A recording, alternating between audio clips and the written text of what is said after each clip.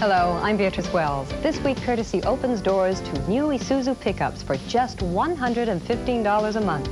And believe me, these trucks are only small in price.